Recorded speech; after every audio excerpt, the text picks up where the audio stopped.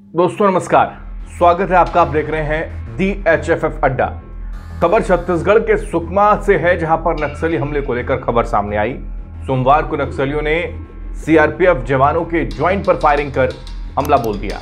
इस दौरान जवाबी कार्रवाई भी की गई। इस गोलीबारी के चपेट में आकर तीन लोगों की मौत हुई है, लेकिन अब इस मुठभेड़ पर अब सवाल खड़े हो रहे हैं।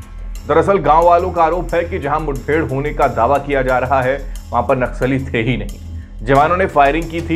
इसमें नौ लोग मारे गए हैं, जबकि कई घायल हुए हैं। उधर बस्तर आईजी पी सुंदरराज ने दावा कर दिया कि फायरिंग में तीन लोगों की मौत हुई। उनके शव बरामद भी कर लिए गए। फ़िलहाल अभी उनकी शिनाख्त हो नहीं सकी। आपको बता दें कि सुकमा बीजापुर बॉर्डर पर स्थित सिलगेर गाँव में पिछले हफ़्ते सुरक्षा बलों का कैंप लगाया गया था। गाँव वाले पिछले तीन दिनों से जवानों के कैंप के विरोध में प्रदर्शन कर रहे हैं। गाँव वालों का आरोप है कि फोर्स ने हमारे जल, जंगल, ज़मीन पर कब्जा कर लिया।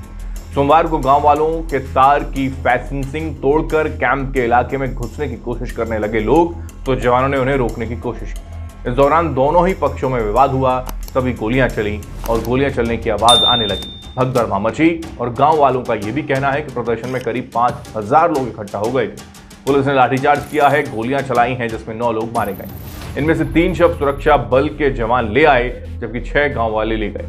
उनका यह भी कहना है कि जब वो फोर्स के पास शव लेने गए तो उन्हें धमका कर भगा दिया।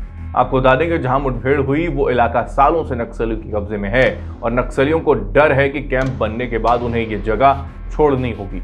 इस इलाके में सड़कें भी नहीं है, यहाँ पर गाँव में ज़रूरत पड़ने पर एंबुलेंस तक नहीं पहुँच पाती। वहीं इसको लेकर बस्तर आईजी पी सुंदरराज ने कहा है कि नक्सलियों ने गाँव वालों को भड़काया है, इसलिए वो कैंप लगाए जाने का विरोध कर रहे हैं। अब जवानों और गाँव वालों में सच कौन बोल रहा है और झूठ कौन बोल रहा है, ये तो वक्त आने पर पता चल पाएगा।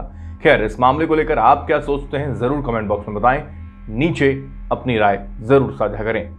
और ऐसी खबरों को देखने के लिए जुड़े रहें दी एच एफ़ के साथ। नमस्कार।